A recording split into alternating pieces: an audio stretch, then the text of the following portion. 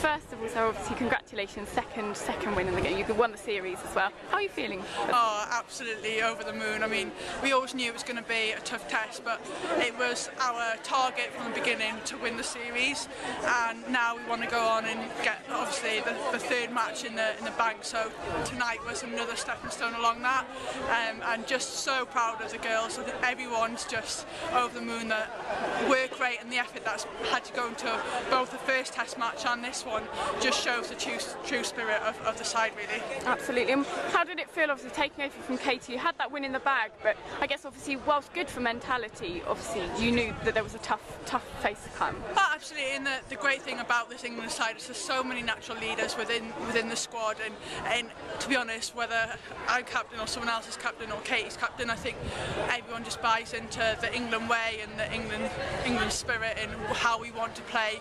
And we all know what we're doing, when we're going to do it. So that's a great thing about what the coaches have installed in us. And whether it be New Zealand or another team, we, we know what we're doing. And, and it wasn't perfect tonight.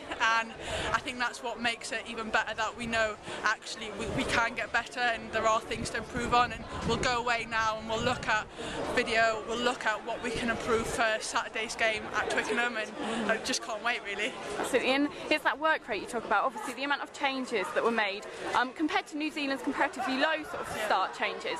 Um, did you feel that you were playing a more tired squad? I mean, did that have any impact on it at the no, beginning of the game? No, I don't think so. I think we always know with New Zealand that they've got great strength and character and they've got that passion and they'll always play. They'll never give in, despite whether they've started the same um, 15 as they did on, on Friday. And we have the trust and belief in all our players that that we're all the same. I mean, you could pick out anyone to be in the starting 15 and, and it's not a second string team at all. Tonight was as strong as it was on Friday, to be quite honest.